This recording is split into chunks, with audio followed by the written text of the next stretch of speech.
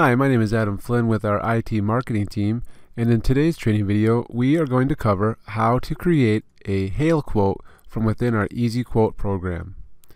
As you can see we already have one line established for our MPCI quote but we're going to add a hail quote to this.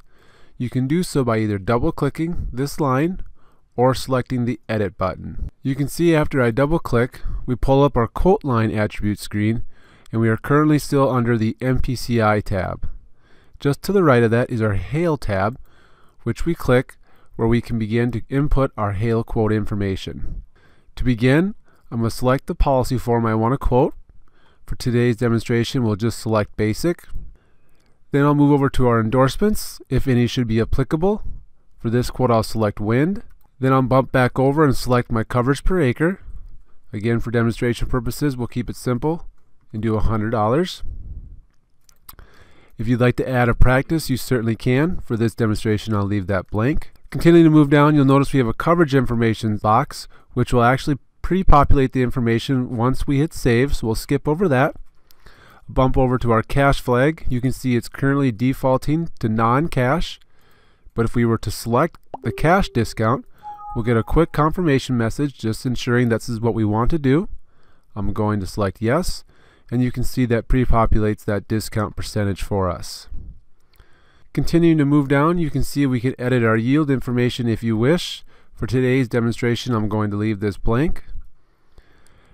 Just to the right of that, we have our ability to edit our revenue information. Again, we do have some pre-populated information there, which I'll just leave, but you do have that ability to edit if you wish to do so.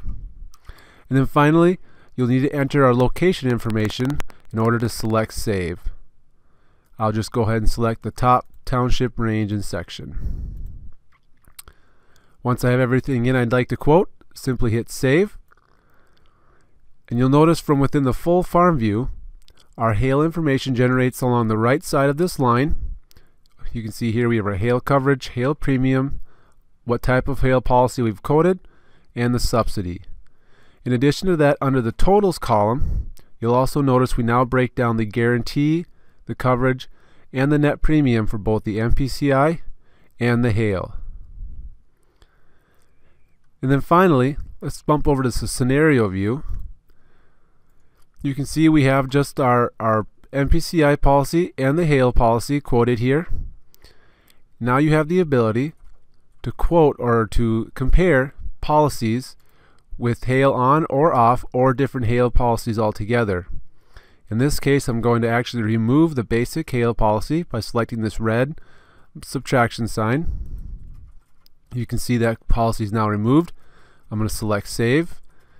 And now we have the ability to compare two quotes, one with hail and one without. And that is how you create a basic hail quote from within our EASYquote program.